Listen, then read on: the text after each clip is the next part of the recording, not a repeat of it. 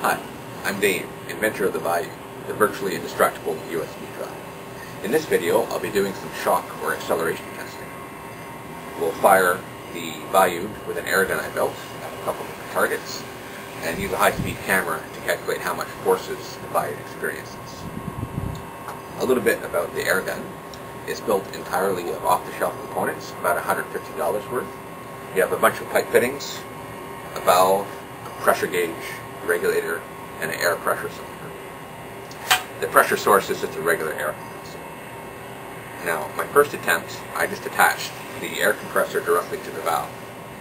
That didn't work very well because you can't get enough volume of air moving at a quick enough speed to shoot the VIUD out very. So I then added the air pressure cylinder.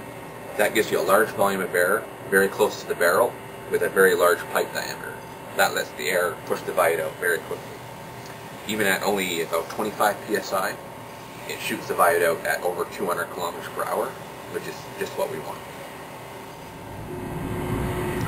Looking at our targets a bit, the first target was just a couple pieces of loose wood, and what happened is eventually the VIUD broke completely through it. So this time, I, I glued and screwed a couple pieces of plywood and MDF together, and uh, that should hold together a little bit better. I'll also be using piece of stone or concrete as another target to see how that affects things. The final piece in this setup is the high-speed camera. When we fire the VIUD, we want to record the VIUD hitting and bouncing off.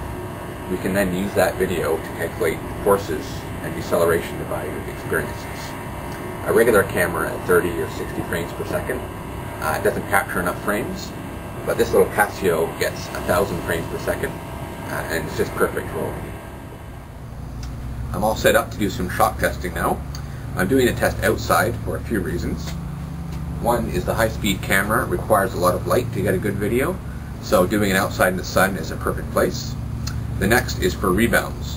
When the VIUD hits the target and bounces off, it's going at a pretty good speed, so outside is a little safer to do it. Behind the camera, I set up a tarp to catch any rebounds. So I'll start at a low velocity and work my way up.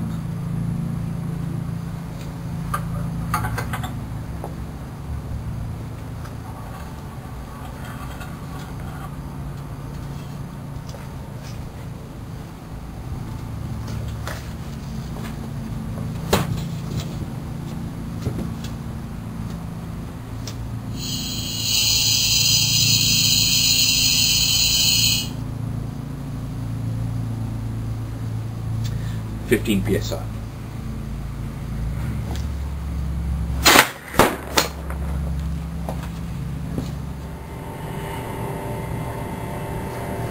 Twenty-five psi test.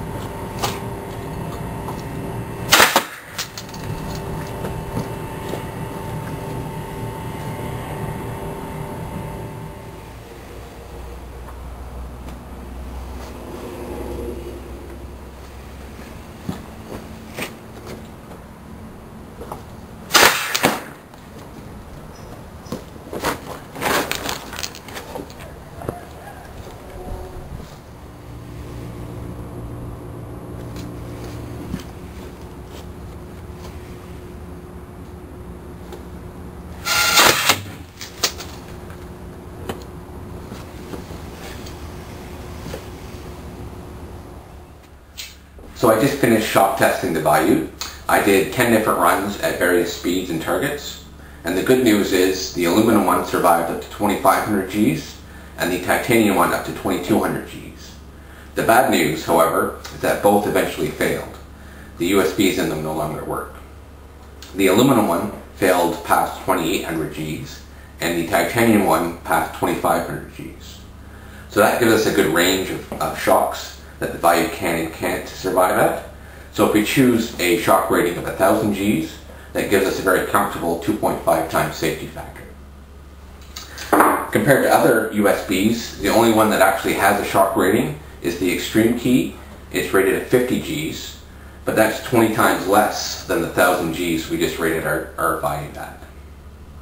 As a comparison, 1000 Gs is, is like dropping the value off a 15-story building onto concrete.